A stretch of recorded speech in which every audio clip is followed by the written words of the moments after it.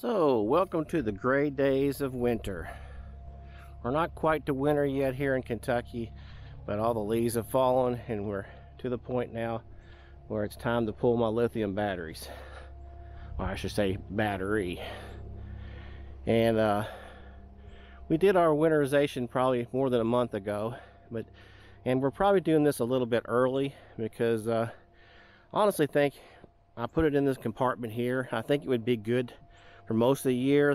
The thing I'm worried about is when you have days that are below freezing and then it gets down in the teens and single digits at night or even lower than that. So northern climates would have to take, do this a lot earlier. Actually here in Kentucky, you probably don't have to do it till late December through January and, and probably most of February.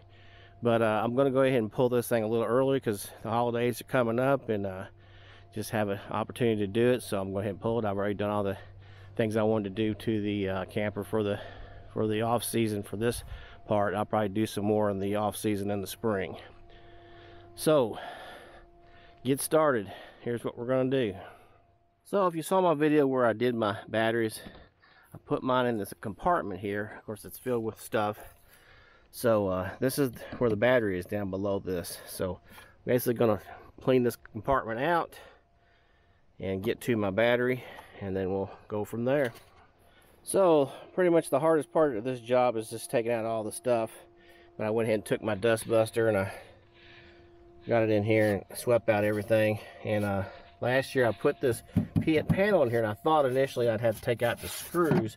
But I think I'm going to be able just to lift this up here and then disconnect and lift out the battery. So that's what we're going to work on now. So what you'll see here I made up is just kind of something I rigged up. It's basically a Ziploc bag with duct tape wrapped around it. And that's for each one of the set of terminals. So I'm going to take the when I take the black terminal off, I'll stick it in a bag. And when I take the red terminals off, I'll stick that in another bag. this just keeps everything from shorting out while you're while it's in the winter stage. Another problem or thing I'm worried about is that, that I still have the solar working. I'm not going to disconnect that solar. So there'll be some juice coming in from that solar. So as long as it's in a bag and it's doesn't have anything to conduct and touch any kind of metal frame, then I'm not going to worry about that being hooked up. But I just won't have those isolated. So I checked. It looks like it's going to be a half inch uh, for these set up here. And these here are, are a special uh, craftsman. They actually get on here and you can actually you can actually pivot them a little bit on the way it's set up here so it's it you can actually ratchet it somewhat. So to make it a little easier so what they recommend or what I've heard recommended is you always take the negative off first. So we're going to do that and get it into its bag and then we'll move on to the positive so I end up taking that piece of wood out. All I had to do is take out one screw out of here. And it's tougher to get this out because if you notice my my boat is considerably long. I don't know if they have shorter boats for this. This one here is actually shorter on the positive side. It's not gonna be quite as bad. But boy this one here is just you know there's not a little bit of room to get in and out of there. So I'm having to manipulate the wrenches on both sides. And so it's kind of a pain. Just got to be patient with it and work with it so what I've done there is taken my negative terminal and put it inside my little baggie that I made and uh, tuck that in there. That way it ain't short against anything. And now we'll do the the positive side. And on this side we have more stuff. We have we have our shunt powered from this. We also have a charging setup for our charger and then a regular terminal. So we've got three things that's going to go in this bag now on this side it was considerably easier a little bit shorter uh, bolt that I had on there and also, if you notice, the nut side was in. On this side, I had the nut side out, which I couldn't get my ratchet in here. So I suggest if you when you reinstall these, to always have the the nut going or the bolt going in from the outside in with the nut on the inside. That makes it a little easier to remove and put stuff in. Still have a little trouble here on the end because I don't have a lot of clearance but it still makes it easier to do it that way. So we're going to pull this loose and get it into our little bag. Now if you notice I've got this strap on my Battle Born battery. This doesn't come with the Battle Born battery. I had to buying it separately. Battle Born even suggested that I go somewhere and find one. That you find one, I said up to two or three bucks, I probably could get one. But I just went ahead and ordered it from their website. Yeah, it cost eight dollars and I don't know something to ship it, but still, it's it's designed for this battery, so that's what I got it for. So you may have want to strap if you have to pull it out. So I'm just gonna basically grab a hold of this and pull it out. So there it is, it's out, and uh, basically I put my pool noodles back in here after done. Like I say, I've got these little covers for my terminals and they're just going to sit in here. I'll end up putting the shelf back in and packing the stuff back in here for the winter. And uh, we'll probably be putting this thing back in probably mid-March, I say, in our area. By mid-March, we're, we're out of the really sub-freezing temperatures.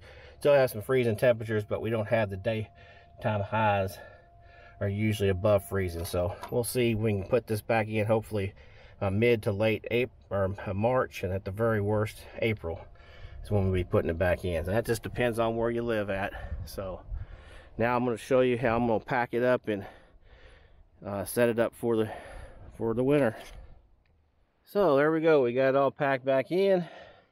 And if you notice, I bought me some handy dandy Andersen levelers. So this spring we'll get to test those out and see how we like those. I've really liked the way they, they seem like they work. So we'll be giving those a try out. Been using my old one inch levelers here, but it'd be nice to give that a try. So anyway, we're gonna continue on. Gonna clean up my tools a little bit. I am gonna take my take this down to my basement. I was gonna put it in the garage. I think it's gonna be a little warmer in my basement, so I'm gonna go ahead and put the battery in the basement. Bring the charger down because before I bring it up here next year, I want to put it up to full charge. And what they recommend, and like I say, this is different for different battery manufacturers, but Battle Born, from what I understand, they don't want you to pack it away unless you've got about 80%.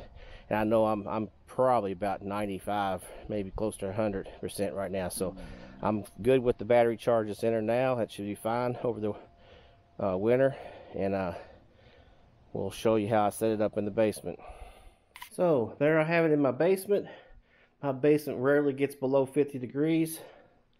So we should be good to go. And when you want to store this, you know, kind of an open area, it doesn't vent or anything, but I like to have a little bit of clearing around it. I put it on wood. I'm not sure if that's something that's from old school stuff, but I just go ahead and do it anyway. But something to keep in mind is one reason I bought Battle Born. You've seen you've seen horror stories where these things come they, they just all of a sudden bust into flames. And, you know, if you get some of those cheap brands, I, I mean, I'm not guaranteeing it's not going to happen to this one, but I don't think this is going to start exploding and catch the house on fire. But you might want to think about that when you have one of those cheaper brands. You know, I trust this one. Now, when I go to put a charge on it in the spring, I will keep a close eye on it. Maybe even take it out to my garage so I don't have to worry about anything like that because that's when it will heat up. So that's about all I have for this video. If you have any questions, uh, leave them in the comments and uh, I'm going to get through this winter just like the rest of us and we'll be camping before you know it. So we'll see you. See you on the next one.